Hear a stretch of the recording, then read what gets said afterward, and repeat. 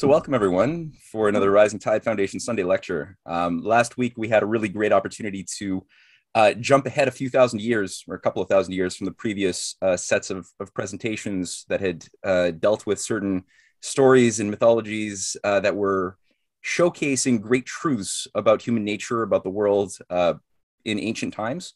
And last week, we jumped into the world of Cervantes and the, the political and, and cultural battles that were being waged in Spain in the 16th, 17th century. Excuse me. and uh, and we find the that both in the, the previous presentations and in what we're going to continue to be experiencing in the coming weeks ahead, that great classical literature, the, the sort that really endures the sands of the, the test of time. You know, like a lot of literature comes and goes, it's popular and it, and it, it accommodates the uh, the tastes of an age in a moment, you know but it doesn't really a lot of literature just disappears. It's forgotten. And other literature other music other art seems to endure. It has that immortal quality.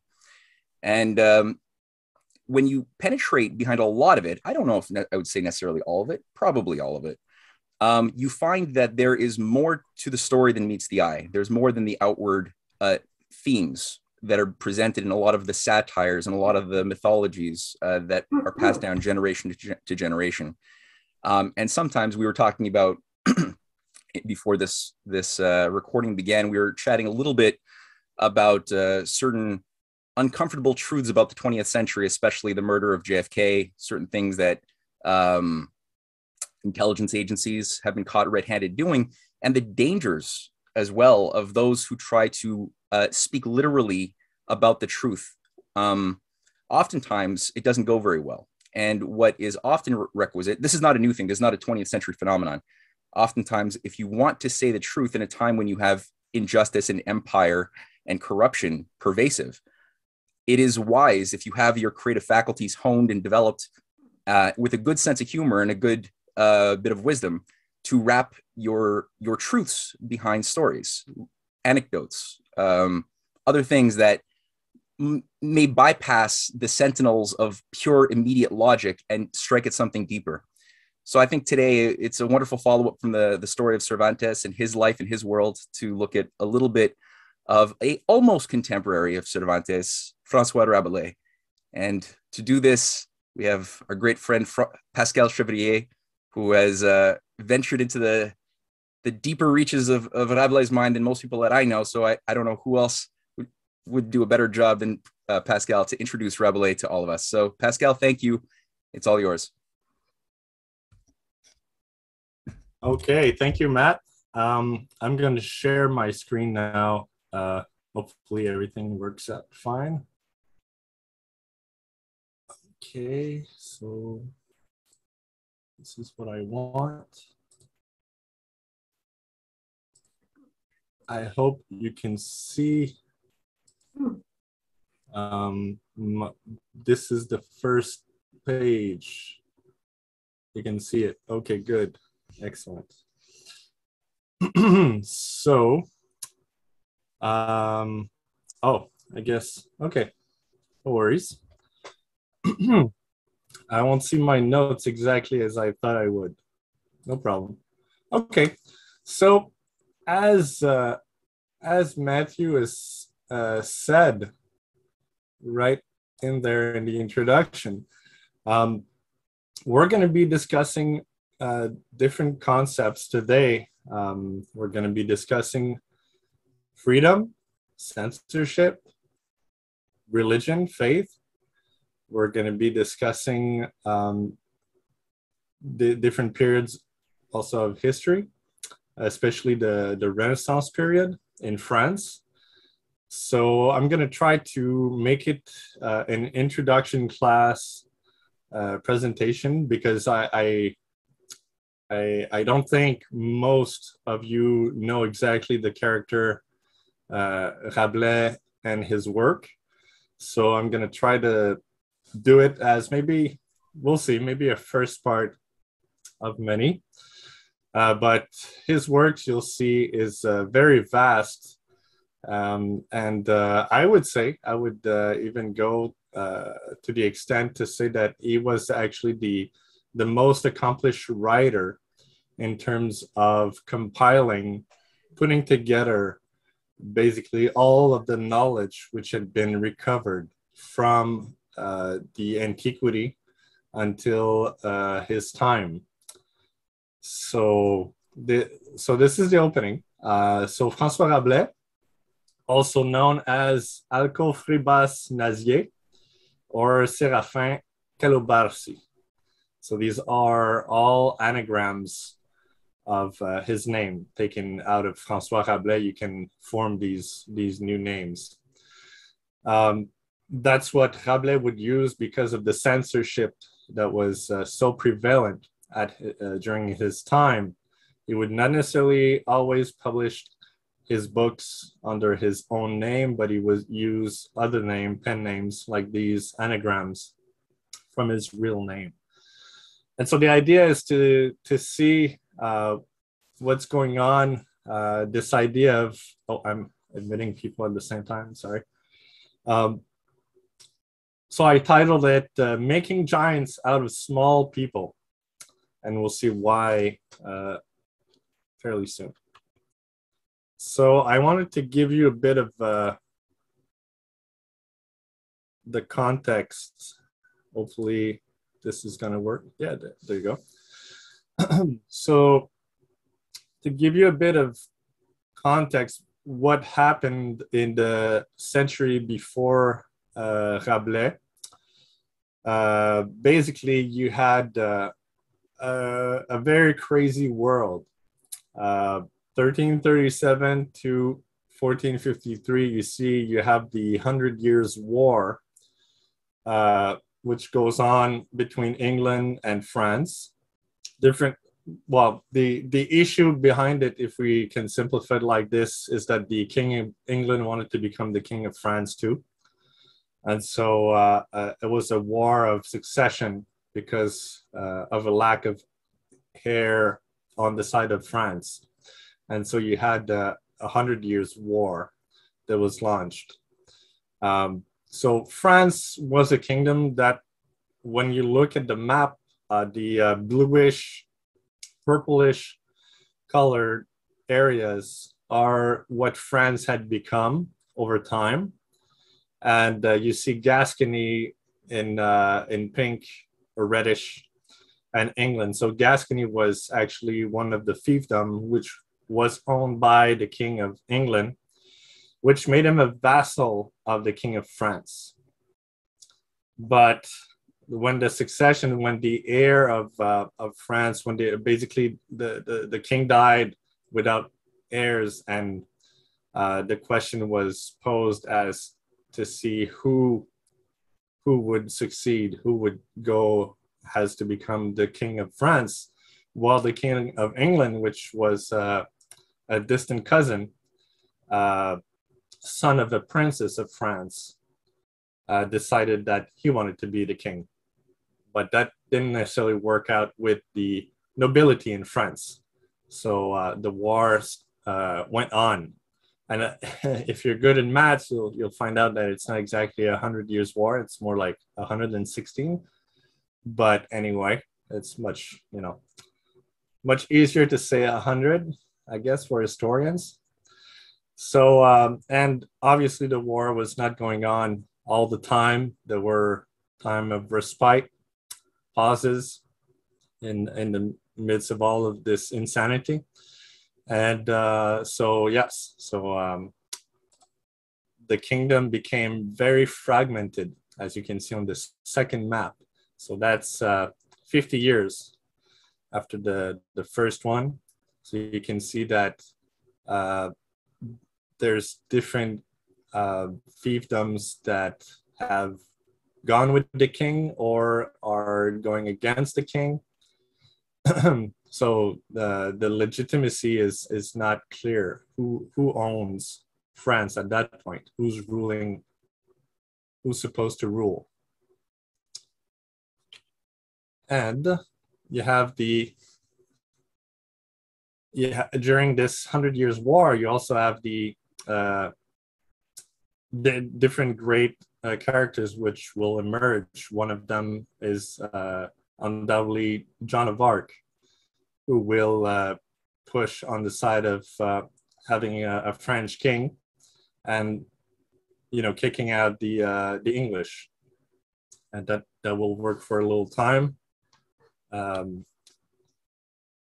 but you know the story, so uh, so she will be burnt. Um, but eventually, France will be able to actually kick the English out and reform a kingdom, a unified kingdom to a certain extent. So why why wasn't it always war? Well, because people were dying from different things at the time. There was also the Black Death, the plague, which was going on. So you see the uh, the areas when uh, different parts of Europe were touched by the uh, by the plague, and so that also was a terrible event that led to, uh, I think, was uh, half of the parishes uh, in Europe kind of disappeared, and a third, about a third of the population. Sometimes in different localities, when the density was higher, it was up to half of the population which died, but uh, one third is already pretty significant. So that's also something that was going on during this Hundred Years' War. So the the war on the on the land of France, in the Kingdom of France, and the plague uh, took a lot of people out. So that's something to keep in mind. Okay, that's an animation. I don't know if it's gonna work. Oh, you see it, yeah. So it's just an animation. It might not be super clear. but it gives an idea of the yellow being the French and the uh, darker the English and the Bourbons working together. So yeah, there you go. Until the end of the of the war. Okay. Um anyway, so in the end, of the 15th century, what you have for uh, the Kingdom of France is uh, mainly the, the, the, lighter blue is uh, what the king controls, and the different other colors are uh, different uh, duchies or uh, fiefdoms, which are owned by different vassals of the king. So the, the English now are out, but now it's the idea of how do you actually uh, create uh, a unified kingdom. And so this is the uh, period of Louis XI, uh, who is also nicknamed the Spider King because he uh, really uh, was able to sew different webs in order to actually confound his enemies, those the, the different barons, the different um, very uh, you know medieval uh, thinking uh, yeah barons and duchies and dukes and all, all these guys uh, counts who didn't want to actually work together um, while the unification idea was to actually get rid of all of these different principalities uh, and actually get a nation state going. So this this was really the movement of the Renaissance has started already in, in Italy at the time, and uh, King Louis XI was really fond of uh, Florence, wanted to emulate what was going on uh, in Florence as a city state, but wanted to make it as a nation state. So uh, we'll we'll get to that very shortly. But if you if you look at what's going on, also at the time you have the Holy Roman uh, German Empire, um, which is uh, also a, a huge uh, a huge ensemble of different principalities. So this is also something that's going on at the time. I'm not going to go so much into it, uh, but to make reference, uh, to different things, but um, because uh, last week we had a, a, good presentation from Adam Seria, who uh, basically uh, discussed much more of, of this aspect by speaking of uh, uh, Cervantes and Charles V. So I'm, I'm not going to go so much into this today, but just wanted to give you an idea of what it looked like at the time. Um, so Louis XI, uh, so his task was to unify the kingdom of France. And so this idea uh, was new at the time, this idea of a commonwealth or an, uh, a modern nation state. This was had never been done before. And so he was the first one to really uh, try to get this idea of the city state, but really to a larger level, the idea of the common good, but on, on, a, uh, on a vast scale. So the idea of the Commonwealth, uh, taken from his uh, book, The Rosebush of War, that he, he, wrote at the end of his reign for his, uh, uh for his uh, son, who would become the king. Uh, his idea of the Commonwealth is the idea of a, that cities were from the first the name of the common good or the Commonwealth. And so he took 14 feudal duchies and 94 major cities and unified them in order to promote a, a common idea, an idea uh, of the common good uh, th- that would actually promote industries, uh, promote development, arts, crafts.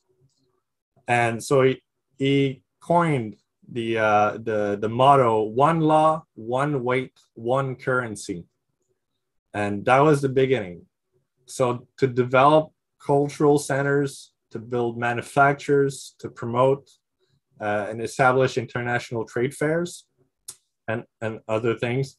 I mean he went all out and really launched a, a great infrastructure project for the whole nation for france uh, to become a model. And so he wanted to attract people from everywhere, really. Uh, these international fairs, trade fairs, uh, were so to so that it could bring people that had a lot of skills in France and use their skills to to build and develop uh, the the Commonwealth, the idea of a, a, a purpose, a common purpose uh, on on his uh, on, on the kingdom in the kingdom of France. So, uh, as I said, he admired Florence and he despised Venice. He actually said it in uh, during a, a, dinner with the uh, Italian uh, ambassadors uh, that he wanted to emulate the example he had seen in Florence, uh, where you had different people from from Milan, from Rimini, from Florence, from Venice. Uh, so he uh, he discussed the uh, his admiration for Cosimo de Medici, uh, who was running the Florentine Republic at the time, and who had uh, opened a uh, an uh, an academy based on the uh, on the idea of the Platonic Academy.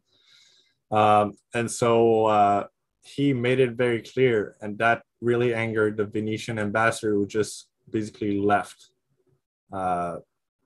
without saying goodbye to the King of France. So, yeah, so that was pretty, uh, pretty uh, big, pretty bold at the time to do that. Um, so that's King Louis XI.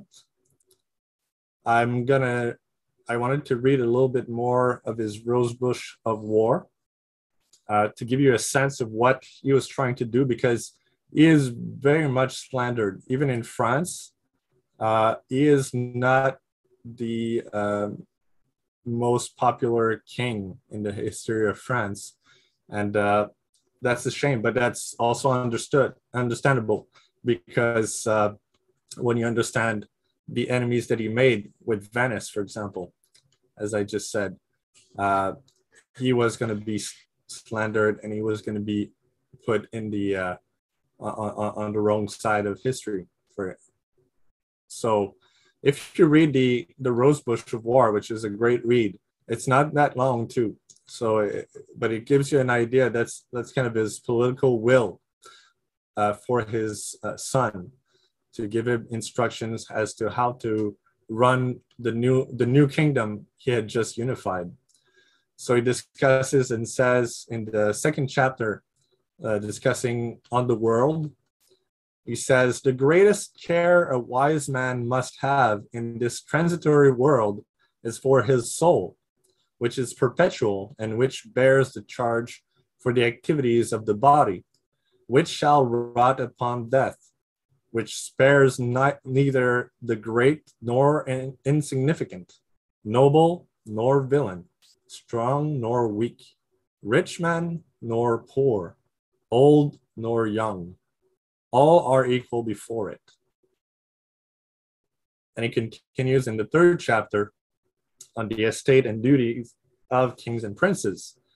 It goes on to say, Consider the duty of kings and princes and their cavaliers, that their estate and vocation is to defend the common good, both ecclesiastic and secular, to uphold justice and peace among their subjects, and to do good.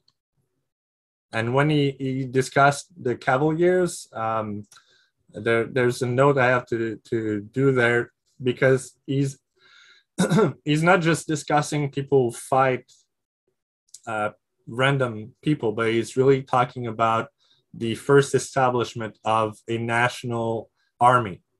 So people who are working, fighting for a common cause, for a common uh, territory. So this is the first time. This is really, th- these are not mercenaries. These are not just knights out of uh, you know, the, the Middle Ages who are fighting for their own little fiefdoms, but they are fighting for on the on a national scale. They are fighting for a common idea embedded in the nation, in the nation state. So that's what he means by cavaliers. So I, I, I, said I would mention uh, Charles V, or how uh, we call him in French, Charles le Quint who was the king of Spain, but also the Holy Roman Emperor, the king of Italy, the king and a king in Germany, uh, which was elected. The emperor was actually elected. He was uh, ultra, ultra Catholic and was the rival to the king of France. Actually, the king of France, which we're going to see right now at the time of Rabelais, is uh, King Francis First. And so you have different kings that come after Louis XI. Um, and these kings, instead of following what Louis XI says in his Rose Bush of Wars, of, of war, um, instead of promoting the peace, uh, go into uh, basically wars uh, forever, endless wars in Italy, for example. And so uh, Francis I is also a king which is going to have to wage different wars, and uh, that that's going to undermine his uh, his reign for for a little bit. Um, so he's the king of France. Uh, he reigns from 1515 till 1547. Uh, he's known as the father and restorer of letters he is uh, himself a poet, so patron of the arts. He's really into the uh, Renaissance mindset, and uh, he tries to cultivate to expand libraries and uh, basically uh, the production of paintings, statues. The Louvre really starts the collection that they have today at the Louvre. It really starts with him he's going to be uh, bringing uh, Leonardo da Vinci to France uh, in the in the later years of uh, Leonardo uh, at the end of his life. Um, he's going to send also exploration teams around in uh, to America to explore and take possession of lands for him. He's going to be stuck in these Italian wars that started before he became king so that's going to be dominating his reign for for a little for a long time. Um, he wanted to become the Holy Roman Emperor. That that could be uh, that could have been him, but he lost the election. So uh, princes uh, were to uh, electors, great electors, uh, decided to go with uh, his, uh, I think was his cousin to a certain extent, uh, Charles V. And uh, when he when he lost that election, he decided to ally with the Ottoman Empire to basically flank Charles V and try to to create uh, a, an alliance that would basically uh, give him more an upper hand in Europe and around the Mediterranean. So that's for the King of France at the time. Oops. Is it working? Okay, there you go. Okay, we're going to be discussing a bit of religion. Uh, don't want to bother you too much with that, but this is really important at the time. Uh, the indulgence traffic. Um, I don't know if you ever heard of that, of indulgences, what they are. Uh, we're going to be uh, looking into this right now. Uh, it still exists to a certain extent, even to this day. Uh, it changed, but at the time, um, religion uh, was undergoing, there, there, was a lot of corruption in the church, in the Catholic Church. And uh, there was a lot of critiques, critiques which were uh, uh, building up. Uh, so one of the reasons for that was the indulgences basically a way to reduce the amount of punishment one has to undergo for sins, uh, either when you're still alive or when you're dead.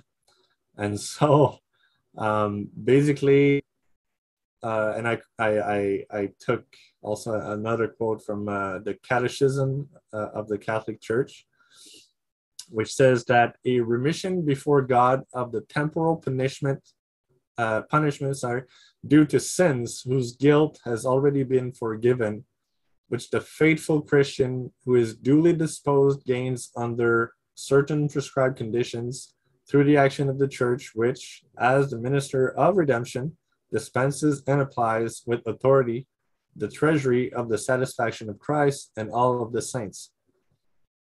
All that to say, really, uh, I think it was easier in the first quote, but it's a way to reduce the amount of punishment that you get for all your sins. And these um, were not necessarily um, bad at the beginning. The, the, the idea of basically uh, having having a way to uh, forgive your get your, your sins to be forgiven and atone for them. But eventually it became uh, something that would be uh, put onto paper and these indulgences could be sold. And so you could buy basically your time out of the purgatory. And so eventually you can understand that that became pretty insane. Uh, and uh, it, it, was uh, it became just spreading all over the place and nobody could really control that. So uh, people believed in it and you know so it, it it was part of the of the church. So people had to believe that it, it was something that was working uh, were trapped in this system and it made a lot of people really angry because if you didn't have enough money you know how, how would you get the money to pay for these? And if you didn't have enough money then you know you you would be damned in the purgatory for a long time. Anyway, uh, so it became a, a really big thing, and uh, that's where the the Reformation, uh, you know, uh, drive all of the uh, the Protestant movement. That's uh, one of the main thing the indul the, the traffic of indulgences. that that's what really they promoted. They they used as as a weapon against the church. Now, what's the situation? Why why do we th- talk about that? Well, because France was really an important country for the church, had been for a long time. Uh, just to give you a little bit of a history on that right now, um, the idea is that uh, since 496, so Saint Remy or Remigius was the bishop of, of Reims in France, and uh, he baptized Clovis, who was the king of the Franks. Uh, but not only him, but he, he, baptized the king and he baptized 3,000 of his warriors, of his soldiers. And that led to the complete conversion of the entire Frankish people to Christianity. So basically, at that point, everybody was a Christian in the kingdom of, uh, of Clovis, had to become a Christian. Um, obviously, then, if we go on, uh, the Kingdom of France also took part into the Crusades, and so to deliver to the the, the Holy Land uh, of the Muslim, they those who took the cross were given indulgences by the church. Oh, so you see, if you were going to fight uh, in the in the Holy Land, if you were going to take part into the Crusades, you would also get these indulgences, and so you would basically uh, uh, make sure that your your your soul at the end would stay uh, the least amount of time in the purgatory. Okay, great. Um, then what you had was the Western Schism, uh, and France also uh, was part of that. So you had uh, in in the the the church already had splitted uh, from the the west and the east. So you had the Orthodox Church in the east and the Catholic Church in the west. Uh, that was more around the uh, 11th century.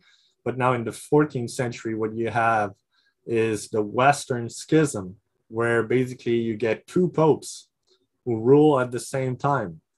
One is in France, and in the uh, in the city of Avignon, and the other the other stays in Rome. And eventually, you're even going to have uh, three popes at a certain point. And so, one which is seen as the legitimate one, and two others which are seen as the anti popes or the, the illegitimate ones. So, the, the idea at the time was really this concept of ultramontanism, where you know is the power coming from Rome uh, how much power does the king have over religion? How much power does the pope have on uh, the secular world? And, and, so that was a big issue um, that that was going on, that had been going on for a long time. Maybe uh, some of you know, but the the pope was not just um, the leader of the church, but was also uh, basically like a king, had his own army and could wage wars against whoever, uh, whatever kingdom he would want. Uh, so this was a wild situation, and uh, France had been known uh, has been known throughout history as uh, the uh, the eldest daughter of the church because since making reference to Clovis's baptism, when you think about it, uh, the, the, this was the first time that you had a king uh, converting a whole people, well, converting himself and getting a whole people to uh, to go with the the Catholic Church, and so uh, that was dear to the uh, to the church, and they used it uh, for a long time. So basically, using the the king as you know you have to be a good a good christian. You have to to be uh, on the side of of the church. Um, and so I, I gave you a bit of uh, who uh, and when it happened.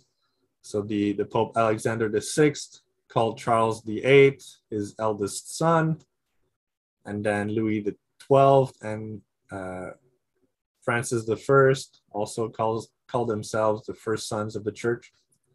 So you see that there's there's a big tie.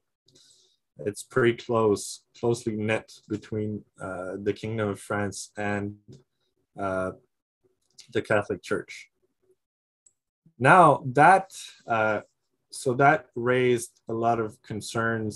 Uh, people were wondering uh, as time went by and as uh, basically discoveries were made of uh, the old manuscripts, uh, basically the the scriptures, looking at the Bible and trying to figure out what was going on, how the church could have become so corrupt, you know, and uh, taking part part much more into the secular world than uh, on the spiritual level.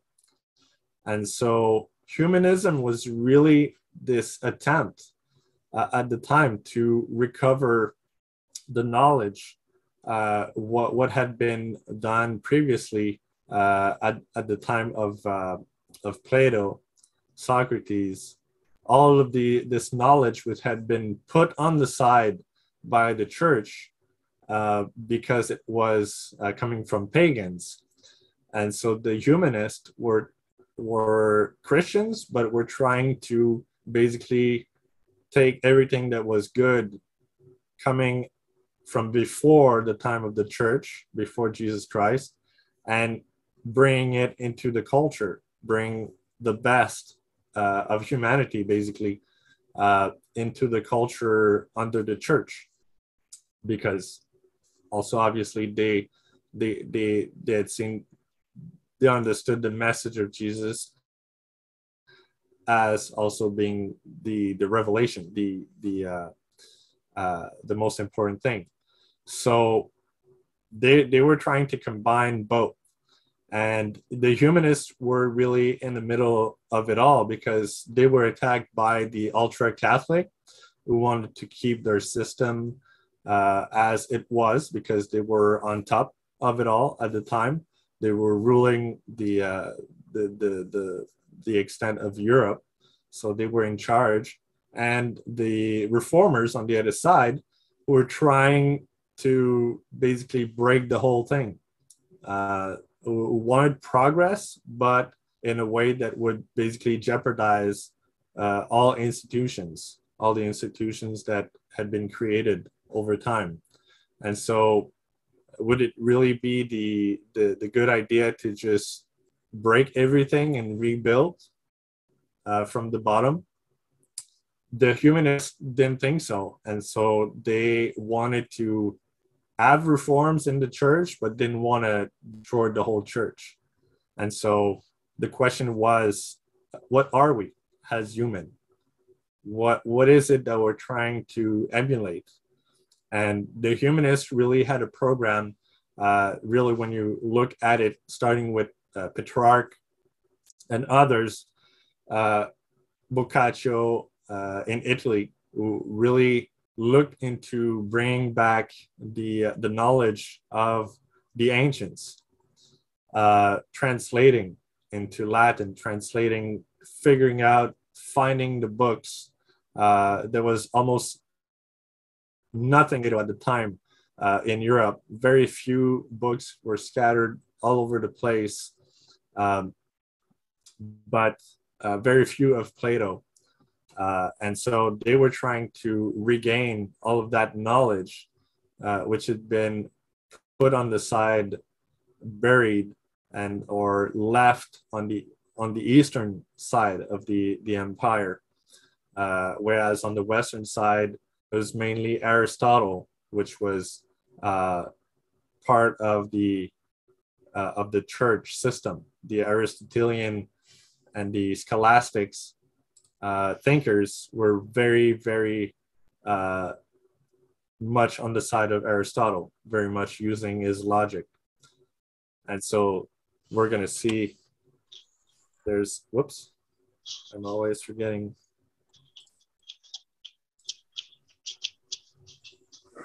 Uh, so one of the characters I mentioned Petrarch, I mentioned Boccaccio. There's also Lorenzo Valla.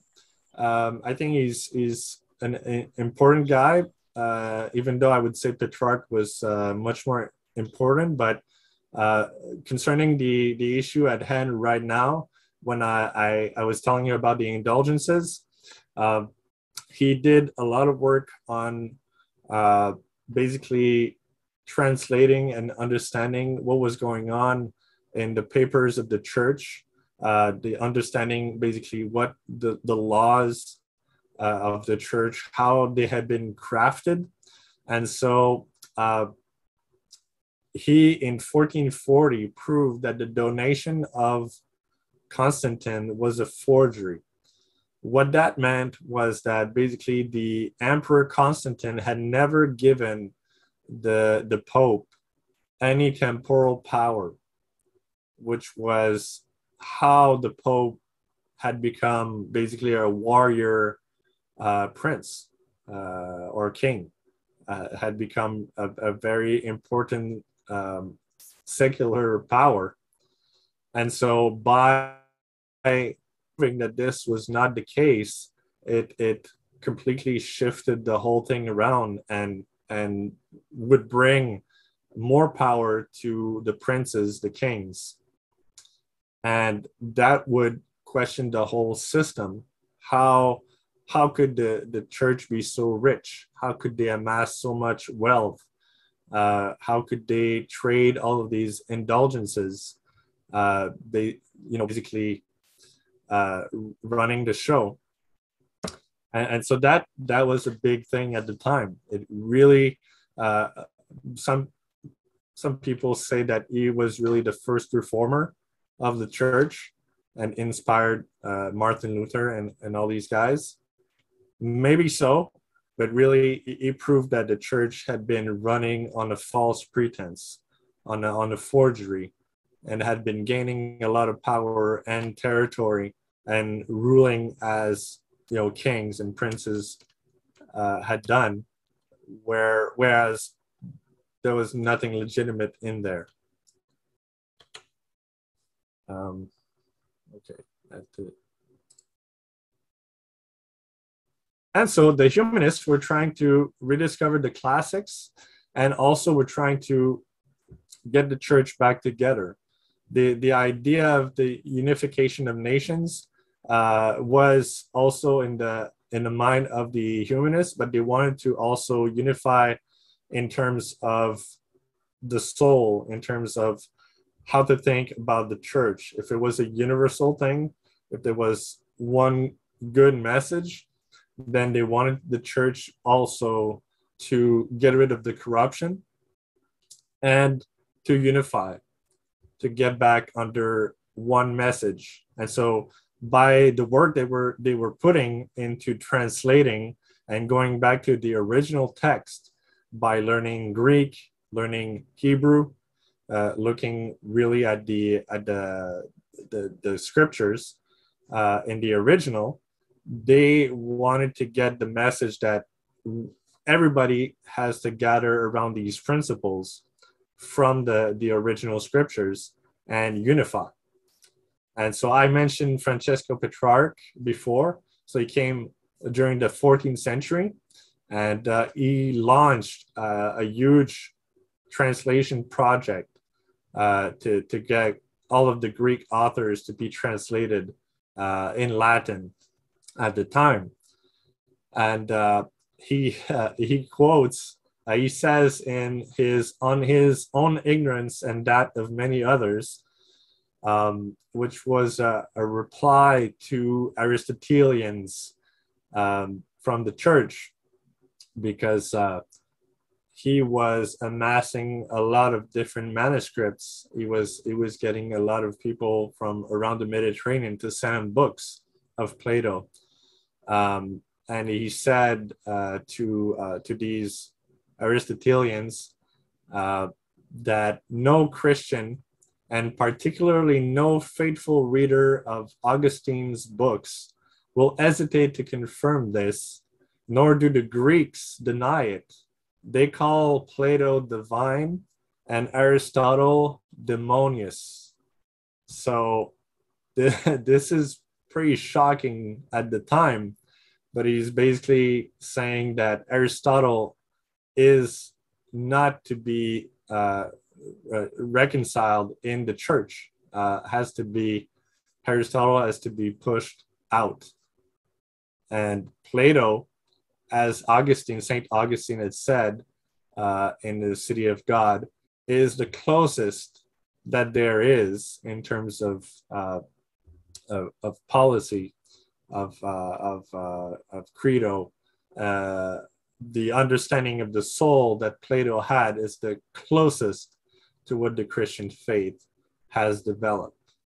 And so he was saying to these guys, to the Aristotelians, that obviously he was ignorant of ignorant of many things, but they would probably were uh, more ignorant because they had never had access to Plato, since he was probably the only one uh, to, to get the manuscripts and to translate Plato at the time.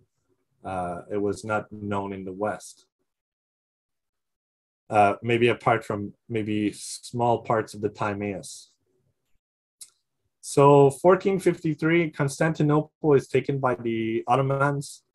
Uh, at, that also uh, made it possible for more manuscripts to go from the eastern part of the the the uh, the Orthodox Church, the the uh, Eastern Roman Empire, to the Western part, and uh, more works uh, of Plato, of Aeschylus, Herodotus, Thucydides uh, were brought to the West at the time, and so more work for uh, this the the the people working after Petrarch, the ones that Petrarch had trained to translate, uh, had even more material to bring in.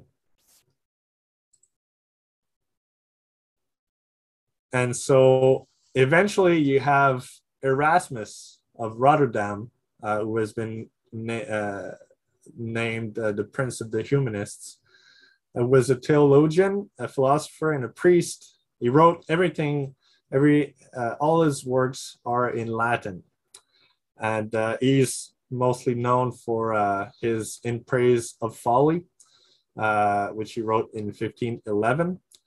If you look at all of his works, The Praise of Folly is but 3% of what he wrote. So he wrote a lot more. And uh, everything was in Latin. He also had a huge correspondence because he was organizing people all over the place in Europe uh, to get a reform of the church, but based on the humanist principle of education, the idea of mastering Greek and Latin, translating the Bible, going back to the original sources, and and getting it to the uh, everybody, uh, especially since at the time uh, you had the printing press had been invented, so printing uh, was uh, a huge tool to bring out the knowledge, to, to bring it to everybody. Uh, he was also coming out of a, a, a group which was called the uh, Brotherhood of the Common Life, which had uh, created a network of different schools uh, in Europe to educate the poor, to educate the orphans, to take care of basically the soul uh, of all these kids, uh, tried to get them an education uh, and, and, and understand the scriptures.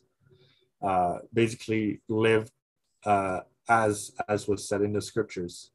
Um, so he was he knew about the reformers at the time, the beginning of the the Protestant movement.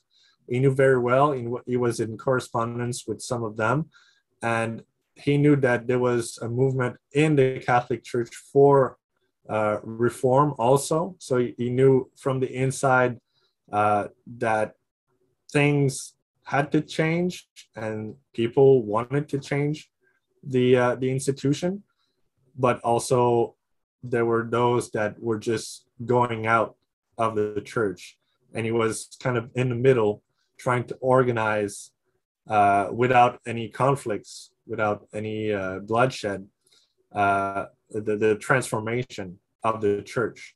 And so with the with the previous movement of translation, which has been started under Petrarch, that's what he was continuing at the time, and trying to really. He was the mastermind organizing all of Europe. Uh, he was really uh, an example to follow, and uh, he had this idea of synergism, uh, which is in the Christian theology, is the idea that basically the um, the salvation involves some form of cooperation between the divine grace and human freedom. Whereas on the other side, uh, what you had from the uh, the reformist uh, on the Protestant side was, uh, I think, was is monergism, uh, and that's the view that basically uh, it's all God. If your if your salvation comes it's going to be because God decided it would, and you have nothing to do with it. So what he would, what what Erasmus was fighting for, was basically people to uh, recognize their free will, and that they could actually do something to make the world better, and that they had they had to go back to the the uh, the original scriptures, and he actually translated uh, uh, the, the the New Testament, he found he found different uh, defects in the translation that had been made, and so he decided to uh, have new translations in Latin and also in Greek of the New Testament, uh, and made lots of enemies by doing that on both sides, on the Catholic side and on the Protestant side. But he he uh, held fast. Uh, another character interesting that I wanted to mention to you uh, is also uh, Sir Thomas More or Saint Thomas More now in the in the Catholic Church. Uh, he was uh, pronounced a saint. Um, he was also a collaborator of Erasmus. He was the Lord High Chancellor of England under King the Henry VIII. he's well known for his book his book Utopia, 1516. He was uh, a lawyer, a judge, an author, a philosopher, and a statesman. And uh, he received a classical education, knew Latin and Greek, corresponded with, uh, with Erasmus, uh, was an opponent of the Protestant Reformation, and also of the separation of the king from the Catholic Church, for which he was convicted of treason and executed even though he had uh, he had retired from uh, his position uh, as Lord High Chancellor, but he was deemed uh, treasonous and uh, was executed. So became a martyr, and and and that's how now we know him as Saint Thomas More on on the side of the Catholic Church. So he stood for principle and and never let go and uh, I'm not going to discuss uh, the utopia and the uh, praise of folly uh, in this presentation. This this would be, I think, we, we could do presentations only on these uh, on these subjects on both of these books, uh, maybe another time. But these were very influential documents at the time and influenced a lot Rabelais in his composition of his own works. I wanted to mention uh, other contemporaries also at the time. Uh, so obviously, I talked about the reformers. So I, I gave you a list and when basically they were active, when they well when they were alive and when they did uh, certain things. Um, so I'm not really going to go too much into this, but just to give you an idea of who the uh, the major players were. Uh, I also put the counter reformer Ignatius of Loyola, uh, who was a bit later on uh, after Rabelais, um, or actually at the time of Rabelais, but his impact was at the end of of, uh, of his life. So it wasn't exactly what Rabelais was fighting against at the time. Um, but that that that also had a, a huge impact on uh, Europe and uh, what would happen afterward, uh, counteracting what Rabelais was doing, what the the humanist faction was fighting for. So on the other side, you have authors and protectors of Rabelais. Uh, the first one, well, I just wanted to mention that you know when we think about the classics that we have today, well, The Prince was written in 1513 13 by Machiavelli. So it was uh, a very recent thing also at the time uh, when Rabelais lived. You had uh, Marguerite de Navarre, who was the sister of King Francis I. She was a protector of Rabelais and uh, he de- dedicated his third book to her. Uh, different characters, uh, French people, Guillaume Budé, he was a Hellenist, so he was studying Greek and promoting the uh, the learning of the the Greek language, uh, creating schools. So the the system of the Collège de France. He was a, a good friend of Rabelais. Uh, actually, very uh, estimated Rabelais very highly because uh, Rabelais was uh, very good in terms of Latin and Greek had um, a very good understanding of the language, uh, was uh, and was proficient in it. Uh, so was seen as really like a, a, a, great mind of his time already by by important people in the in the Kingdom of France. Also, André Tiraqueau was a jurist, also a Hellenist, so uh, learning and teaching uh, Greek also a friend of Rabelais, saved Rabelais uh, when he was uh, confined to a monastery. Uh, actually, Rabelais had to flee a couple times uh, to try to avoid uh, the wrath of the Catholic Church and or the, the Protestant too, but the Catholic Church was was mainly the ones that were um, attacking him and uh, trying to uh, get his book out of circulation. Um, so he, uh, André Tiraqueau, was able to uh, to protect him also and get him out as he was uh, uh, maintained prisoner in some convent. Um, yeah, he stayed a good friend of Rabelais until the end of his life. Um, and you have Jean du Bellay. Jean du Bellay is uh, probably one of the most important uh, person in the life of Rabelais. Um, he uh, was a diplomat and the Bishop of Paris and protected Rabelais. They also went uh, to Italy uh, together. Um, so traveled around Europe together and uh, and were really good friends. Uh, he protected him uh, many times, um, as as did the other ones, Marguerite de Navarre, Guillaume Budé, André Tiraqueau. And so that gave uh, a good a good wedge to Rabelais to basically uh, have the ear of the king of France, of, of Francis the First, uh, because his sister was on the side of Rabelais and so it was easier for for Rabelais to get his ideas across. It didn't mean that the king would necessarily go with them, but uh, at least um, it was easier for for Rabelais to uh, be able to get his ideas out and uh, not be burned at the stake as others had been uh, at the time. It was not. Uh, it was a common thing for people to uh, to be attacked by the church and uh, and be basically seen as heretics and burnt at the stake.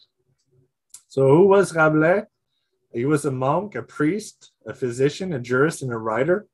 He was a son of a lawyer, and he became very good at uh, jurisprudence. Uh, he was a it was a very skilled um, uh, in in terms of law and also in terms of language he became very uh, very skilled with the, the greek and latin la- uh, language and uh, did also his own translations of different uh, different texts. Um, different quotes I wanted to mention that come from his work.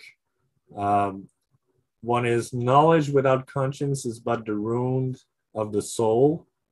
And so the idea of the, the renaissance of the education system that the, the humanists were trying to bring about was to question question the knowledge that had been um, taken for granted for so, so long or that had been put into uh, the the curriculum uh, by the church and, and was just seen as the the truth because the church said so. Well, the idea was to question all of it and, and try to understand what was behind, uh, to go back at the source, at the at the beginning, and and so to question everything, and so therefore ignorance is the mother of all evil. So to be an ignorant fool is uh, the downfall not just of you but of society, and that was understood by Rabelais and his friend Erasmus, uh, Thomas More, and all the others. They understood that the system uh, was very shaky. The world that we're living in was in co- constant flux, and there was uh, there, there had been great attempts, like for example by Louis XI, to consolidate to create a new type of space, a new territory, the na- the nation state, ruled by principles, ruled by an idea um, of uh, of natural law. Um, uh, or, or, or you know the right of the the people. Um, and that came you, you can also go back and, and look at where this came from. And you can go back at you know to nicholas of cusa um, and and the idea of natural law. Uh, other presentations went into this so i'm not going to uh, go too much into it but that's that's something that has to be uh, taken remembered right now. So we're going to look a bit more into uh, what Rabelais was doing, and of course, well, we have to look at uh, the critique. So maybe you've heard of Rabelais, and uh, most people have, but it it it stays uh, as uh, as was said at the beginning. It it really stays at the uh, superficial level.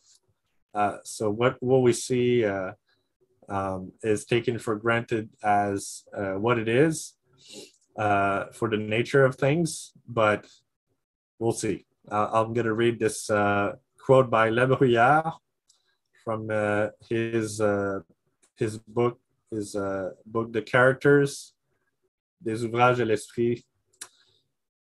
So he says, Marot was another uh, was a poet, a French poet at the time, uh, um, a bit before Rabelais. Marot and Rabelais are inexcusable in their habit of scattering filth about their writings. Both of them had genius enough and wit enough to do without any such expedient, even for the amusement of those persons who look more to the laugh to be got out of a book than to what is admirable in it. Rabelais, especially, is incomprehensible. His book is an enigma. One may say inexplicable. It is a chimera. It is like the face of a lovely woman with the feet and the tail of a reptile, or of some creature still more loathsome. It is a monstrous confusion of fine and rare morality with filthy corruption. Where it is bad, it goes beyond the worst. It is the delight of the basest of men. Where it is good, it reaches the exquisite, the very best. It ministers to the most delicate tastes. All right, so this is uh, pretty harsh. So he says there's a lot of good, but there's a lot of a lot of bad, and the bad is like the worst. Go, it, it's beyond the worst. So should we just take that and not continue into Rabelais, I guess that's that's that's pretty much it. We don't need to go beyond uh, this guy. He's a he's a learned man from 1690. So I guess I could end my presentation there. Maybe not. Maybe not. I think we're gonna go and and try to find out for ourselves uh, what is in the Rabelais. So hold on, it's not it's not over. So, stories and language, the art of creation. Rabelais really wrote a lot. Like he, in his book, he uses a lot from ancient Greece, from the mythology. He, he really brings everything, all of uh, basically the, the different um, understandings throughout the ages uh, of what human beings were, how they created these stories to try to understand the world they lived in and try to organize uh, an approach to how to live in it. And so it goes back to ancient Greece, it goes back to all of the mythology, the history. Uh, he translated a lot of these uh, historians, Thucydides, Herodotus. Uh, he knew them very, very well, and so he uses a lot of terms that were that were coming from uh, the Greek, from the Latin, uh, and, uh, and and and in French, and wrote in French. So whereas um, Erasmus wrote everything in Latin, Rabelais saw it his job to actually get to the French people and try to talk to them uh, at all levels, the the poor, but also the the learned man, and so many many levels in what Rabelais is saying, and maybe that's what confused La Bruyère from the quote we we've seen previously, is that he tried to really encompass all of the human experience, the, all of our experiment, uh, and and bring it uh, to to everybody. So when you look at the words he used, that's that's maybe not the greatest comparison, but anyway, uh, he used a lot of new words and, and uh, yeah, so so basically uh, enrich the language, whereas um, other uh, other uh, people in uh, that are seen as the cl- also classical uh, in the in the French language, like Jean Racine, would use about eight thousand words. Rabelais used eighty thousand. So that's that's something. The the humanists were also trying to get uh, what they call the encyclopedia. It's very different from from what uh, you see later on with the Enlightenment it's not the same thing. That's why I put it's not frozen words. Uh, and and Rabelais discusses frozen words also in in one chapter of uh, of his book. Um, but he, they were trying with Guillaume Budé. Uh, they were trying to get a humanist design to basically uh, get an educational system, the the spread of the the, the study of the language uh, of the Greek, of Latin, um, and that was a big problem at the time because the church was against it. Uh, La Sorbonne, which was the theological school at the time, run in uh, in Paris, uh, was not yet a university, but was the theological uh, uh, department, and they had forbidden Greek. It was not to be studied. So Rabelais, as he was a monk, uh, the, uh, when before he became physician, he was a monk and was trying to study Greek and, and go back into the scriptures, the original versions of the scriptures, and translate them. And so his Greek books were actually seized uh, when he was uh, at the monastery. Uh, so that was the church had, had, had seen the study of languages of the Greek of Latin as a very dangerous thing. And you see in this quote, so Greek, a, stud, a study discountenanced by the church, which looked on it as a dangerous, as an on it as dangerous and ending to free thought and heresy. So if you study Greek, you would actually uh, have free thought. That is very dangerous.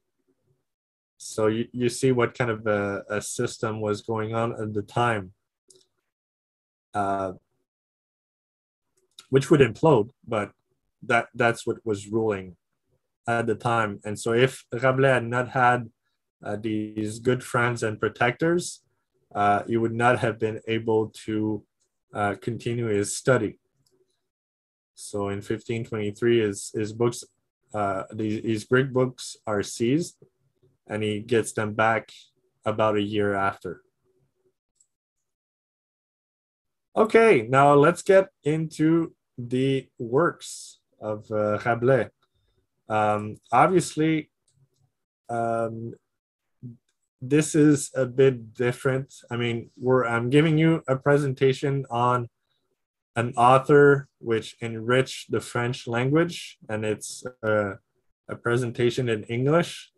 So the translation I'm using are okay, are good, uh, but obviously it would have been much better to read in the original French and compare also with the uh, with the modern French because what uh, Rabelais was writing in is called the middle middle French. Oops, sorry, I'm going too fast. Um, so what he was writing in was uh, was called the Middle French at the time.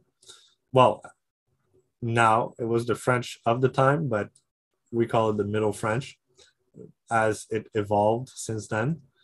Uh, so he wrote that these are the main his main works. He also had uh, correspondence, uh, as I said, with uh, Erasmus, for example. Uh, he corresponded with him, and uh, it was pretty clear in one of his letters that uh, he saw Erasmus as his inspiration, as his basically his father. So it was pretty clear where where uh, Rabelais came from in terms of his ideas, his principles. And so his works, you see them listed there, uh, different books that are the stories of giants. And stories of giants at the time were known, were, were pretty common. I mean, it, when, when we look at the mythology, there, there are giants, cyclops, uh, every kind of creatures. Rabelais uh, didn't like the way it was treated at the time uh, because it was mainly to divert people, just uh, get them to read funny stories, uh, but not really learn anything. Also, he was uh, he would attack uh, the this this kind of uh, chivalric uh, the chivalric orders of the time, the, the, the feudal system of knights uh, that was uh, prevalent uh, in, in the literature. And so you can you can make the uh, connection with uh, Cervantes at this point um, pretty clearly. So he would attack that, and he would use characters that were giants in order to actually bring uh, different ideas improve the understanding of the whole population of the whole French population, and uh, not just of the, the poor people, not just the, the, the common man, but also uh, the the learned, and and that's why he would use uh, a very interesting language. Um, so it, it would it would be seen as funny stories on the um, on the exterior, but much more to be found inside. And and Rabelais made it known to his his readers also. Um, I just want to check my notes for a second. Um,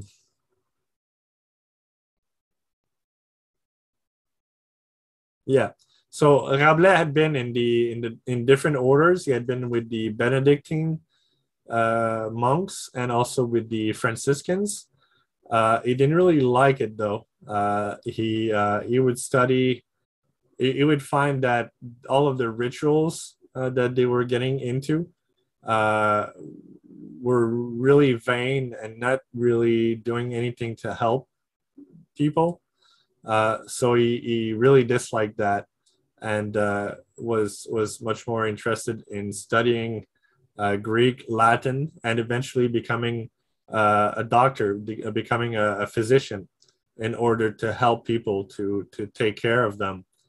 And you can think of a physician for um, the body, but you can also think of a physician for the the mind and the soul.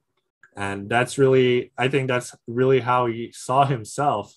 And that's that's how he was trying to introduce in his work uh, really higher conception of what mankind is and and what had to be done in order for the experiment of the nation state to continue not to be destroyed because there was there were many attempts at that point to uh, destroy this idea of the nation state and, and get uh, get the whole of Europe into uh, fratricides, uh, fratricidal wars.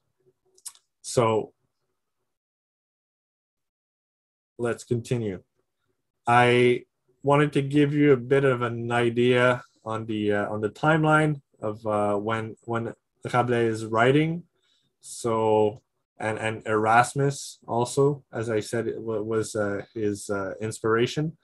So when when are both living and when when does Rabelais write? Um, so this is just uh, just to give you an idea. Searching for a philosopher king. So Rabelais was writing interesting, funny stories about giants traveling around the world, uh, making uh, connections with different people, um, waging wars also, and, and, and try to figure out how to live good lives. Um, but he was also looking to inspire somebody, and that somebody was a king of France and he went to uh, give him an idea of what to do what was the the proper approach in order to be a good king and in order to get out of the traps which were set uh, by the enemies of France and the enemies of, of the people, really, of, uh, of, the, of the Christian faith at the time, um, of all Europe. So he was trying through his works to get the message across not just to the the, the populace to the people but also to uh, learned men and people at the court of the king of france uh, of the, the the danger of falling exactly for what the uh, physical perceptions uh, and to try to get to a higher level of understanding of what was ruling uh, the the institution w- was ruling the the system going on. All of these uh, useless wars how to end them. Uh, there's there are so many characters. I just named a, a few but rabelais has many many characters in all of these five books. And so we could talk about all of them, but I I decided not to. It's uh it's too long for now uh, for this introduction, and it's uh it wouldn't really help us out. So I just listed a few of them. Uh, the main ones being Gargantua, who is the father of Pantagruel, uh, who are uh, lords, kings in uh, uh, in a region called Utopia. Uh, so the kingdom of Utopia. So clearly you see the the link uh, with Thomas More at that point. Um, different characters uh, are some good, some bad, but really there's always a mix. Uh, Rabelais doesn't really paint you a picture of black and white. He really gives you an idea that the human condition is not set in stone and that basically people can change. And so there are some bad characters and there's a lot of different people that die, but some good, some bad, some made bad decisions, and some made no decisions at all and and died anyhow. So really, you have a mix of all of these things that Rabelais gives you in all of the stories uh, to make you reflect on uh, on life and on what kind of decisions we make and why why we make them. Uh, so I'm not gonna go too much into this, but we're gonna read uh, a little bit of Rabelais now. Uh, I decided these these uh, illustrations by Gustave Doré are really the the best one, greatest uh, illustrating uh, the works of Rabelais. It's it's just very interesting. At this point, he's uh, he's about to eat some pilgrims. That's Gargantua. Um, he's about to eat some pilgrims because they hid uh, in his uh, salad.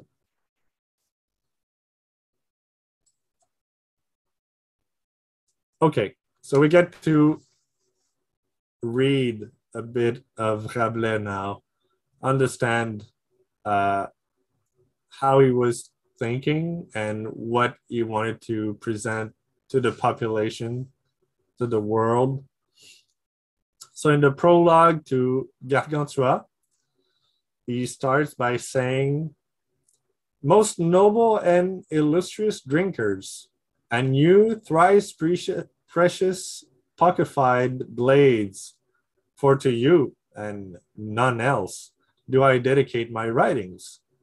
Alcibiades, in that dialogue of Plato's, which is entitled The Banquet, whilst he was setting forth the praises of his schoolmaster Socrates, without all question the prince of philosophers, amongst other discourses to that purpose, said that the, he resembles the Silenes. Good friends, my readers, who peruse this book. Be not offended whilst on it you look.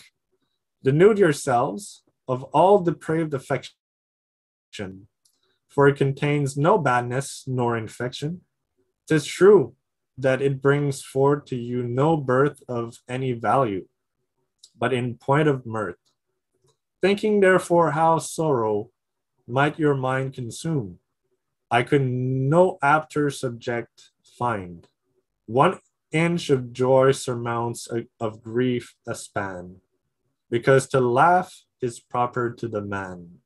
And so, in these two paragraphs, uh, he's discussing uh, basically the idea. We're going to go in, uh, uh, into it a bit more, but this idea that um, the Silenes um, that he talks about when he, he says that Socrates is like the Silenes, these were like boxes that had um, uh, that, that were painted with monsters on them, but re, uh, had uh, some precious uh, remedies, some pre- precious cures in them. And so the outside uh, was not very beautiful, was kind of strange, but the inside was uh, very precious. And so he compares Socrates to the Silenes and says, Look, what I'm writing to you might not look really good from the outside. It might be weird or, you know, uh, horrific, but you have to look inside. You have to go more in depth. You have to go beyond what you what you read and try to figure out uh, what's really in it. And so you have to forget all of your what you what you thought you knew you have to forget all of these uh, prejudices that you that you bring with you all the time and try to figure out what's the truth. So it's interesting that he's talking to some uh, most noble and illustrious drinkers. So basically uh, he covers what he's doing. Um, he, he covers for the critique uh, because he knows that he's going to be attacked big time. But you know, it's not it's not very that important. It's just it's just for drinkers. It's just for people who are drinking. You know, it's the, these stories are not not to be confounded with any serious business, really. Or is it?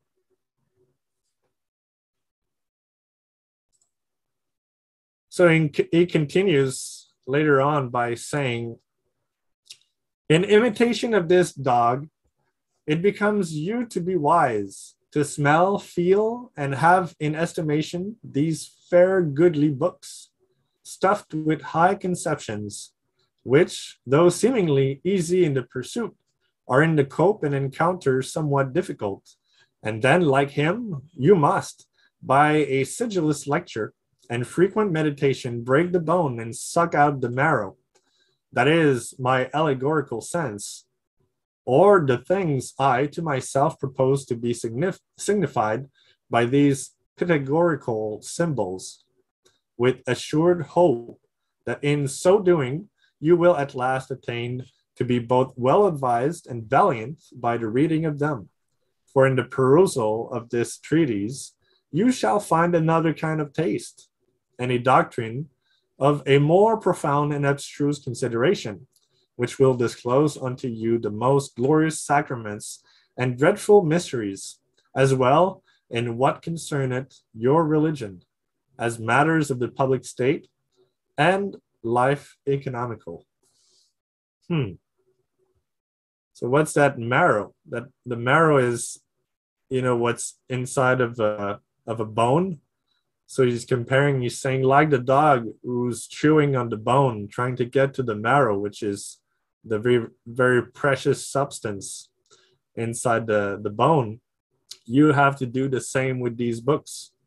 You have to work on them and try to figure out what I put as the the the very precious part, what is to be uh, to be reckoned with. and so he's he's making fun of a lot of things. He's making fun of uh, what people took as you know the well when you, you went whenever you made references to the to the bible you had to be really careful. Uh, but he he would paint it in in this um, in in, uh, in in the same way that these uh, stories, um, uh, chivalric stories were were done, and so you would it would use the same kind of format and and integrate his characters in them. So these characters, Gargantua, Pantagruel, uh, many of them already existed beforehand, and he, he took them and transformed them, uh, made them better. Um, so where did Gargantua come from? uh, he, he discusses that. Uh, so let's see. Would to God everyone had as certain knowledge of his genealogy since the time of the Ark of Noah until this age. I think many are at this day emperors, kings, dukes, princes, and popes on the earth, whose extraction is from some porters and pardoned peddlers as, on the contrary, many are now poor, wandering beggars, wretched and miserable, who are descended of the blood and lineage of great kings and emperors, occasioned, as I conceive it, by the transport and revolution of kingdoms and empires, from the Assyrians to the Medes, from the Medes to the Persians, from the Persians to Mac- the Macedonians, from the Macedonians to the Romans, from the Romans to the Greeks from French. And to give you some hint concerning myself, who speaks unto you, I cannot think, but I am come of the race of some rich king or prince, in former times. For never yet saw you any man that had a greater desire to be a king and to be rich than I have, and that only that I may make good, uh, make good cheer, do nothing, nor care for anything, and plentifully enrich my friends and all honest and learned men. But herein do I comfort comfort myself, that in the other world I shall be so. Yea, and greater too than at this present I dare wish. As for you, the same or a better conceit, consolate yourselves in your distresses, and drink of and drink fresh if you can come by it. Uh, so, so basically, uh, he says if if you take the genealogy, uh, Gargantua obviously uh, descends, you know, comes from uh, the the human that were there, or the maybe the giants that were there at the time of Noah's Ark, and so if literally you take the stories in the Bible, uh, then basically we all come from there, and uh, obviously uh, we have uh, been part of these lineage, and probably we had uh, ancestors who were kings um, and and very rich. And so, if you're in a bad position right now, well, you can maybe consolate yourself that you're you're going to be better uh, later on, or you know, when after in the afterworld, uh, everything is going to be upside down, is going to be changed. But also, you come from uh, from the lineage, and it's it's only because you had all of these transports and revolutions and kingdoms and empires that you know things have changed. Uh, but hey, we all come from the same, huh? So that's interesting.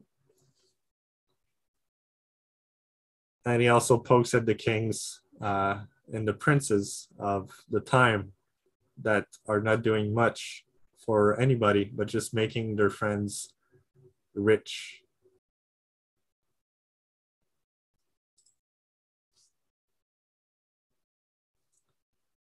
Okay, so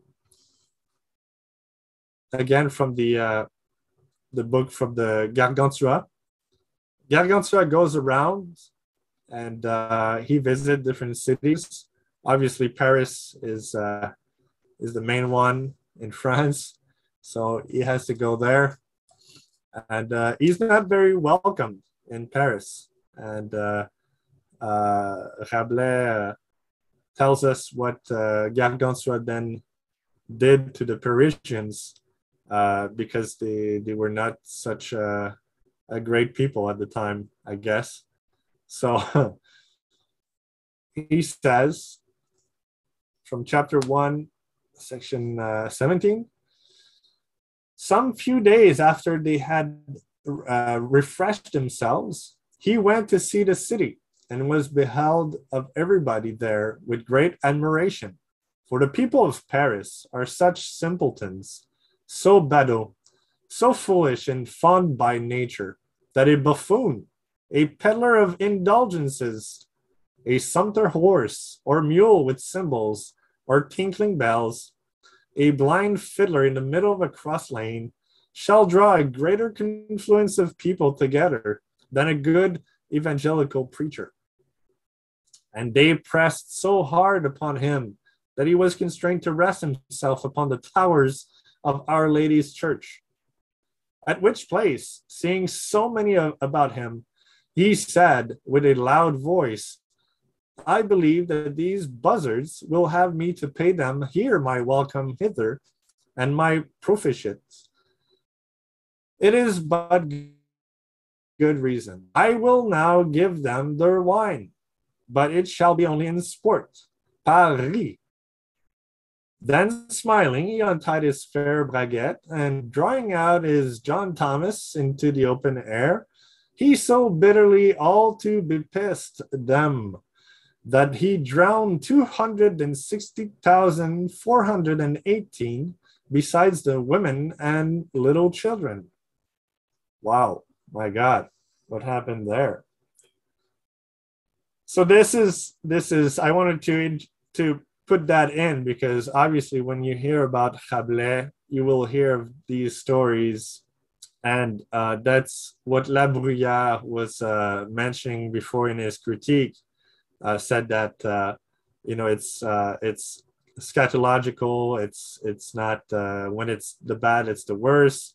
And so Rabelais, I think, was making a lot of fun of, of the people of the time and how they saw the these giant stories as being so so important so interesting uh, whereas you know it was and, he says it right there. He says that they would they would be more interested by all of these absurd things um, and than a good evangelical preacher. And so there was something that was lost to the people at the time that they were not really uh, taking care of the essential. They would be fooled by by their sense their senses and so uh, Gargantua found them so uh, despicable that uh, he pissed on them, uh, urinated on uh, the Parisians, and uh, what Paris means here in, in the text, Paris means by laughter. So there's a pun that's that's done there on the on the name of the city so it was just for laughs basically.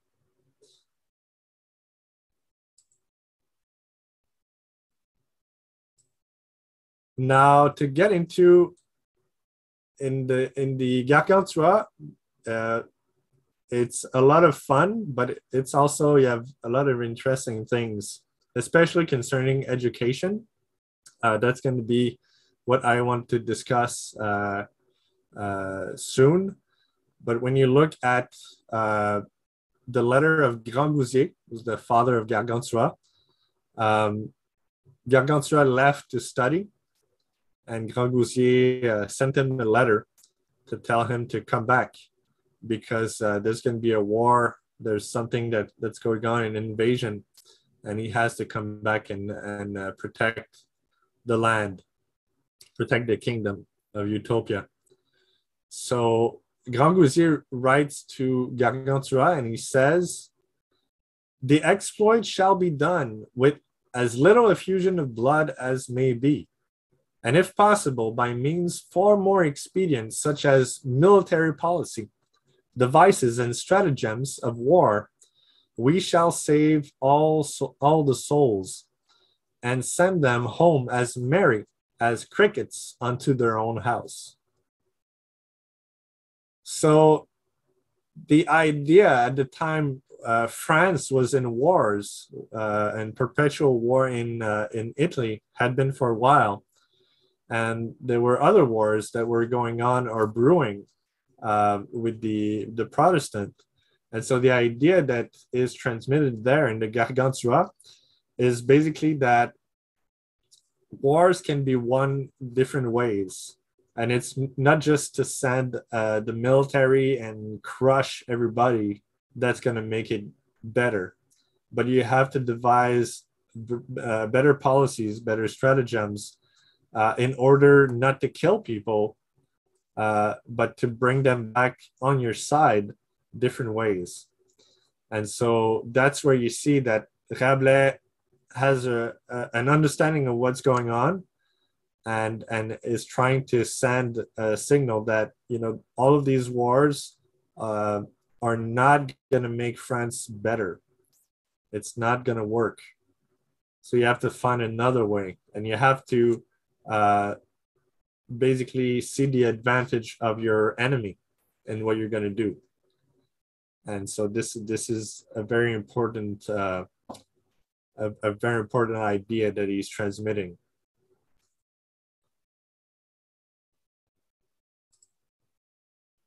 Okay.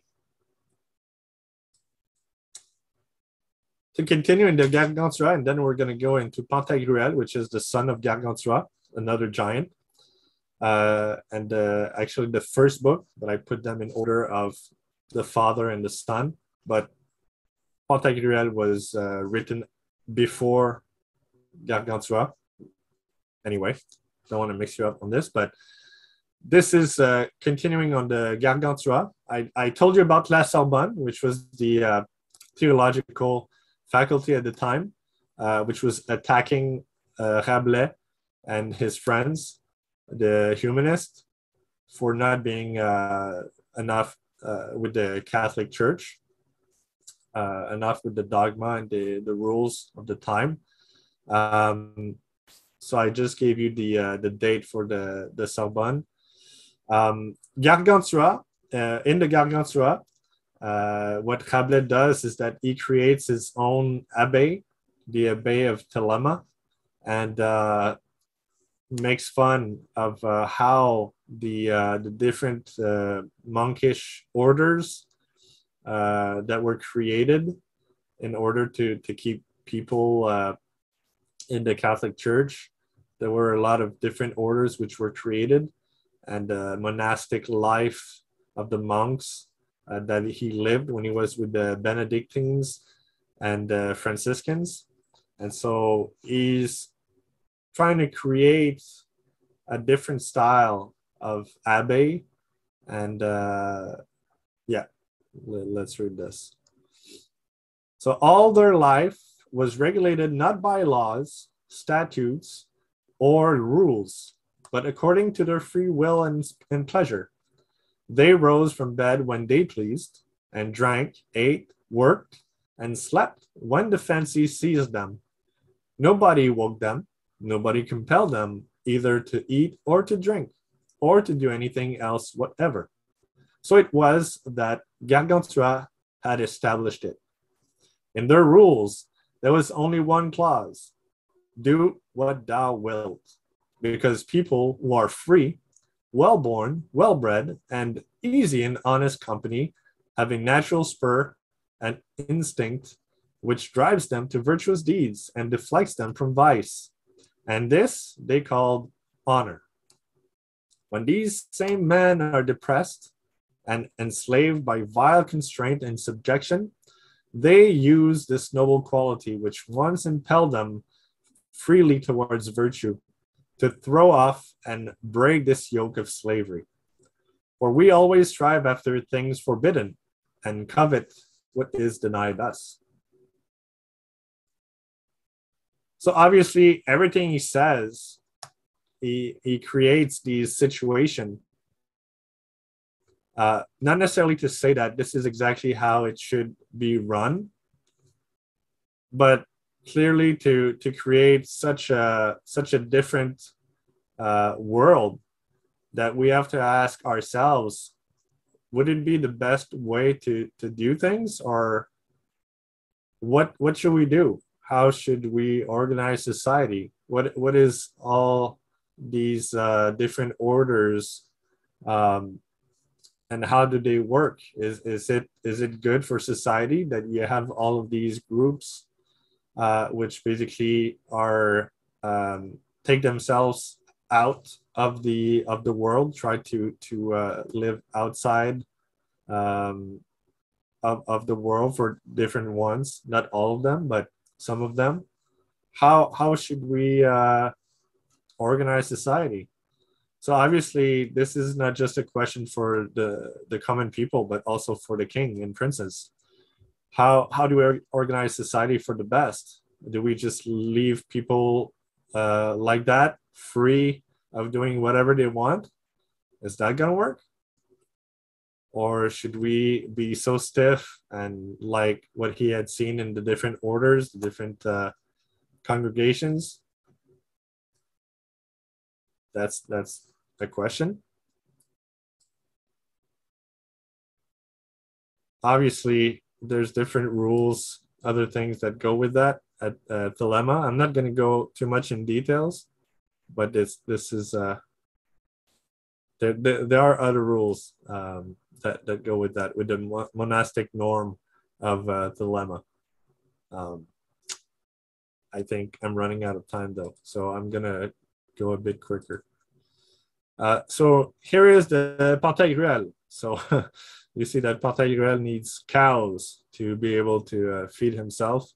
Uh, and it's 17,913 cows that need that are required to furnish the uh, the milk for uh, for Pantagruel.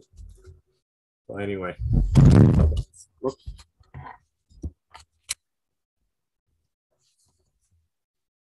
Interesting drawing.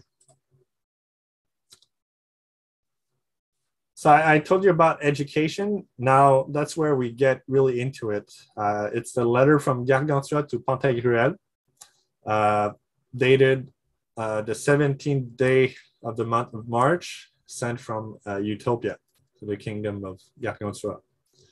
He says, Most dear son, amongst the gifts, graces, and prerogatives with which the sovereign plasmator God Almighty had endowed and adorned human nature at the beginning, that seems to me most singular and excellent, by which we may in a mortal state attain to a kind of immortality.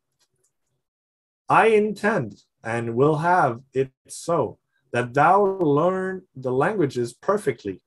First of all, the Greek, as Quintilian will have it.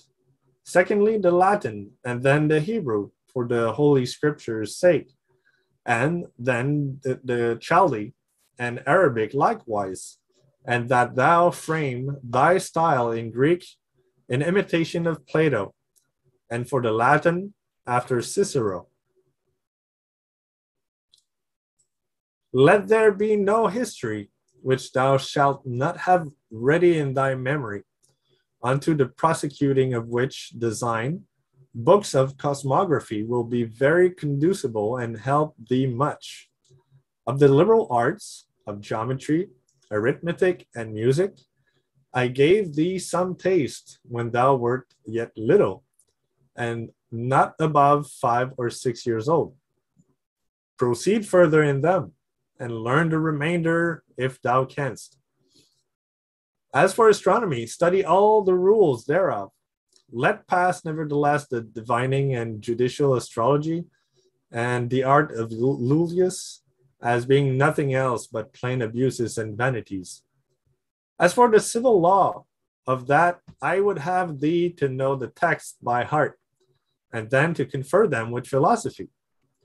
Now, in matter of the knowledge of the works of nature, I would have thee to study that exactly, and that so there be no sea, river, nor fountain of which thou dost not know the fishes, all the fowls of the air, all the several kinds of shrubs and trees, whether in the forest or orchards, all the sorts of herbs and flowers that grow upon the ground, all the various metals that are hid within the bowels of the earth, together with all the diversity of precious stones that are to be seen in the Orient and South parts of the world.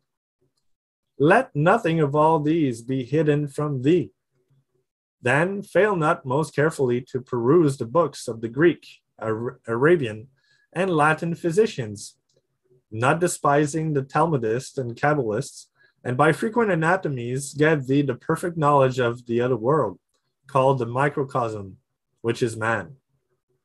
And at some hours, of the day apply thy mind to the study of the Holy Scriptures. First in Greek, the New Testament, with the epistles of the apostles, and then the Old Testament in Hebrew. In brief, let me see thee an abyss of and bottomless pit of knowledge. For from henceforward, as thou growest great and becomest a man, thou must part from this tranquility and rest of study thou must learn chivalry, warfare, and the exercises of the field, the better thereby to defend my house and our friends, and to succor and protect them at all their needs against the invasion and assaults of evildoers. Okay, so this uh, this is very interesting. Uh, if you look at what he's discussing, uh, so obviously languages was a big focus of the uh, the, the humanists at the time. And in his books basically rabelais was bringing up the curriculum that was uh, fought for by all of these humanists around Europe that wanted to uh, completely overhaul the education system. Uh, it was not just an idea. The, the term democracy was not a commonly uh, pronounced word at the time. That was not exactly the idea. But the idea was really to get people to start thinking by themselves. And instead of just being sheep's following, like another uh, episode in the uh, fourth book, which uh, for sake of time, we're not going to get into right now, but there is an episode where sheeps are on a ship and uh, and Panurge, the friend, uh, one of uh, Pantagruel's friend, decides, uh, well, had a, an argument with the uh, the shepherd, with the owner of the sheeps, and decides that he's just going to throw these sheeps overboard, and he does that, and all the sheeps, uh, which he says, uh, quoting Aristotle at that point, says that uh, sheeps are probably the most uh, stupid animal that ever were. Uh, all of the sheeps jump overboard, and with the shepherd trying to uh, to stop them, rubbing onto a ram. The ram also jumps overboard, and everybody drowns. All the sheeps and the the shepherd drown. Um, so what's you know you could you could ask what's the moral of that story? Um, and so I, I i think it's it's up to you to figure it out but really if you think about it how do how do people react these days? How how do opinions how are opinions formulated and how do people go about them? Um, i think it didn't really change since the time of Rabelais. And so that's that's what uh, that's what was the attack on on the way people would conform with the authorities of the time and and how they they would uh, they would see themselves what part they would play in in the the grand scheme of things um, we're almost done. I, I know this was a bit long as an introduction, but uh, we're getting there. I just wanted to give you a bit more of the uh, great illustrations that were made by uh, Gustave Doré, uh, representing uh, the giants. You can see on the right, Pantagruel, who's studying. Um, so everything that was mentioned by uh, in the letter uh, by Gargantua to Pantagruel uh, is also represented here. So the idea of, uh, of learning everything that you could become a bottomless pit of knowledge, basically getting everything that you could from all over the place, not just from the West, but also the East and the not just the the modern but also the ancients really understand and figure figuring out for yourself what is true. And that that was a big uh, a big thing at the time because um, you it, Rabelais crafted it in these stories to make sure that he would not uh, uh, get in trouble with the Inquisition and the uh, the Catholic Church and he did get in trouble with them uh, many times. He had to flee uh, and go uh, get protections from his friends. Um, so even though he was creating all of these stories with giants, um, he would not be necessarily safe. And uh, but his attempt was to make sure that the newly created nation state would uh, would go on and that the these principle of statecraft would be transmitted to the next generation and that eventually a, philosoph- a philosopher king would uh, take over basically and, uh, and and change the rules of the game um, many things uh, I skipped over. Um, I'm kind of sorry for that, but I think this was a long presentation. So I think I'm just going to end it like that. Uh, if people have questions. Well, that, that was a, a, very good introduction, Pascal. Thank you. And uh, already in the the chat box, uh, there were a couple of people who wanted to pose a question to you. Um, I myself have a, a, question I might want to pose as well, um, but we only have time for a little bit. Uh, so the first person whose name that I saw was Adam. Oh, hey Adam. Oh, no sound. Adam, you I, are likely on mute. I cannot hear Adam. Oh. No, I see your mouth moving, but yeah, you don't hear anything. That's because I had my microphone on mute. You hear me now. Yes. All right. Well, it was it was a wonderful presentation, but when you got when you read an excerpt, it sent my antennae up. When it referenced the Abbey of Thelema and "Do as Thou Wilt," uh, I I'm sure I'm not the only one who thought of Aleister Crowley, and I was wondering what if Crowley drew his ideas from this, or uh, it was just a reference he read, or and then part of that is doesn't Crowley's conception of it take the idea to its perverse extreme? I just wanted to know your thoughts on that. Yeah, exactly. You got it. Uh, so from what I from what I know, it, it, comes exactly. Crowley just decided to take the uh, the idea and push it to the, the extreme. Uh, but clearly, uh, has not done as much work as Rabelais and didn't really understand the uh, the uh, what what was uh, the marrow inside of the uh, the envelope that uh, was giving, because that's that's the thing. I I didn't really want to. That you could have a lot of different interpretations, and that's up to people to actually read and try to figuring out these ideas because I don't think that it's it's as great when you know you're being told, oh well, this is what he means. You know, this is that's the answer. Just look at the end of the textbook.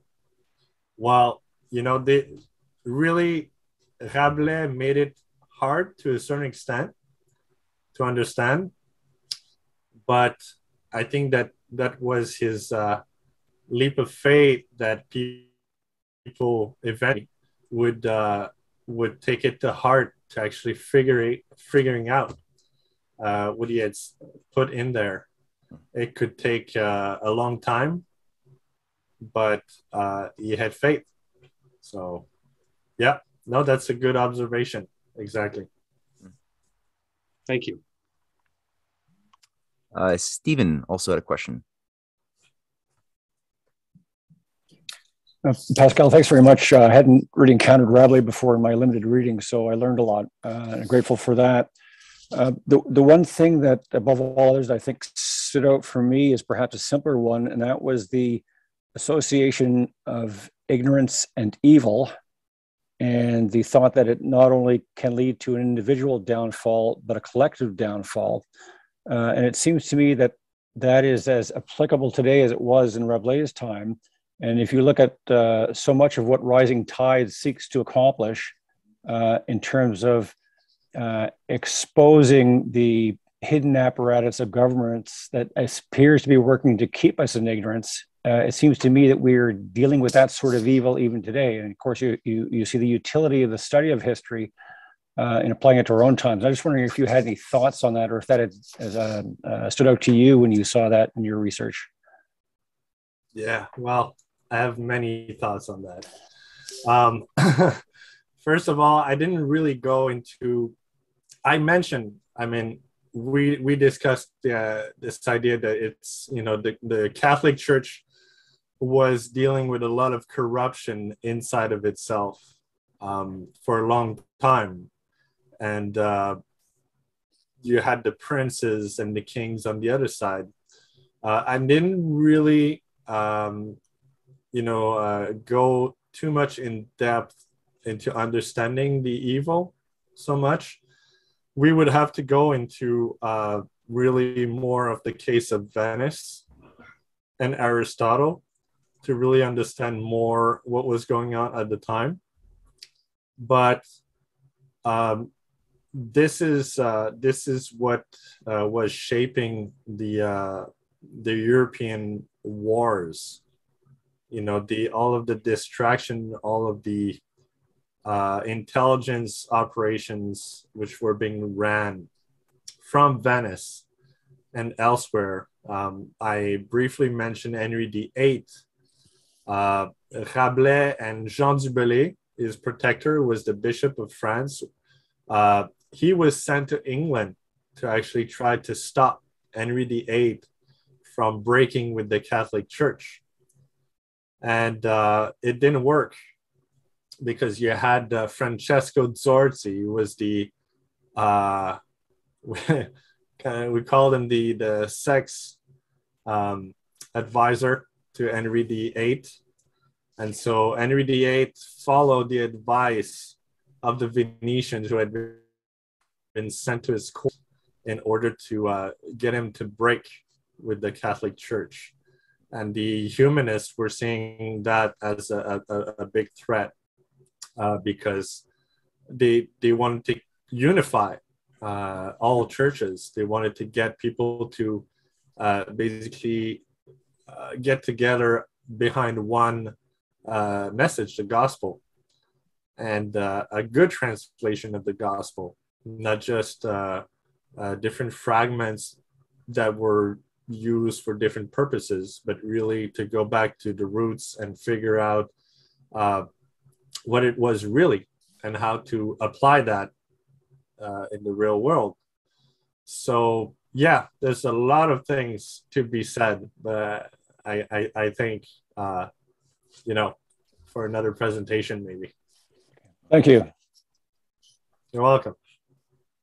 Uh, Sean wanted to just endorse his uh, his view that he's looking forward to part two to continue on the uh, the layout that you you set up, and I I also uh, back that that idea up as well. Uh, Ian has a question. Uh, yes, Pascal, thank you very much for that presentation. Uh, myself, I studied in France, so that's something I, I went over when I was younger. Um, what I wanted to, to know is that uh, Rabelais was pushing unexpected ideas, fringe ideas, uh, and how did it actually uh, shape what was the impact short term, medium term in France and in Europe? And did it have an impact changing from the inside or was it fermenting revolution? Mm-hmm. Oh, good question. Um, that's something that also I would like to know a bit more about because I've, as I was doing the research for this presentation, um, there's different ideas, different uh, trails that pop, and um, I wasn't too sure of where to go, and and and uh, for the sake of time, I, I couldn't really uh, launch myself into it. But if you think about it, um, you have uh, you have many wars which are started by the end of Rabelais' life. You have the Council of Trent. You have uh, the Counter Reformation. You have all of these. Um, you have uh, many wars, uh, religious wars that are launched. Well, we could actually take it from 1492, the expulsion of the Jews from Spain, until the Peace of Westphalia in 1648.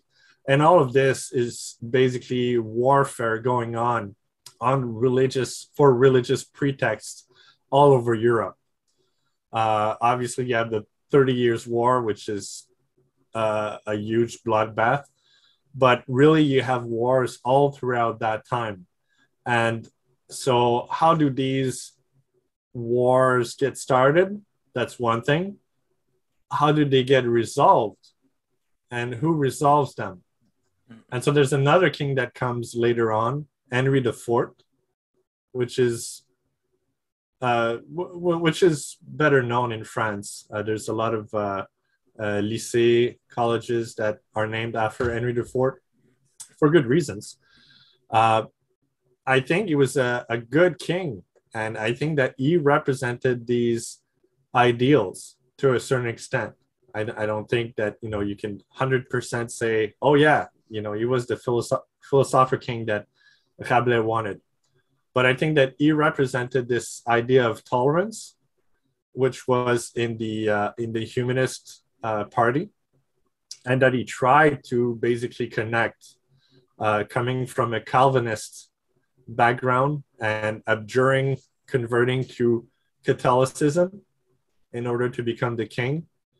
He represented a character which uh, embodied that type of understanding, uh, and he was assassinated, right? So, a lot of warfare and some interesting characters, also kings that that try to do good. Um, I can't say that you know it's it, it was exactly the design that Rabelais had planned, but I think that's that's something that uh, has to be looked in, into a bit more. Thanks. Yeah, that was actually touching on my question too, because when I was doing a little bit of the the history work for the for the on, on the Peace of Westphalia, the issue of Henry of Navarre came up a lot, and uh, the Duke of Sully, who is like one of the the I guess masterminds behind a lot of the the grand strategy that Navarre uh, utilized to declare war on the oligarchy, the, the encrusted oligarchy of France of his day, and really try to unify the country around big projects and a big crackdown on corruption. And I was I was curious if that was my question: is it, did you know of any direct links between the Rabelaisian circles and Sully and these guys who are practically on the ground? But I guess you sort of addressed that just now. Okay, yeah. good. Well, I would have said no, but anyway. No, that's that's really really great, Pascal. I mean, this is a, a very fantastic introduction. We're going to have this up on our website very shortly. Hopefully, we'll be able to have a, a French version at some point soon as well for uh, to to fully appreciate the the richness of the language that we couldn't, as as Anglophone speakers, fully appreciate. Um, Adam as well tackled that same issue, dealing with the uh, the enrichment of the the Spanish language with Cervantes, and you know, it's we're getting at it in the the way that we can. But um, this sets the stage very well as well for next week, where we're going to have uh, Cynthia going through something that will also tackle Venice from another angle, uh, from a, an author a couple hundred years after Rabelais, um, named James Fenimore Cooper, who was an American uh, literary figure who did a lot. I mean, he wrote a lot of stories, short, long alike, but he was also politically playing a very interesting role and exposing some very interesting, um, often misunderstood elements of of geopolitics with and she's going to focus a lot on the the story of the bravo um, which really takes us into the lagoons and the evils of venice in, an, in another way so i hope everybody can uh, be there for that one i know this tuesday as well we have martin Sieff in the evening who's going to do his uh, part two on the assassinations of the late 19th century um, specifically with a focus on uh, william mckinley's murder and uh, that of Tsar Alexander II. So that'll be at 7 p.m. Eastern time. And uh, feel free to invite your friends and and other truth seekers to the uh, the upcoming events. So thank you everybody, and thank you Pascal. Great. Take care, everyone. Bye. Bye. Merci Pascal.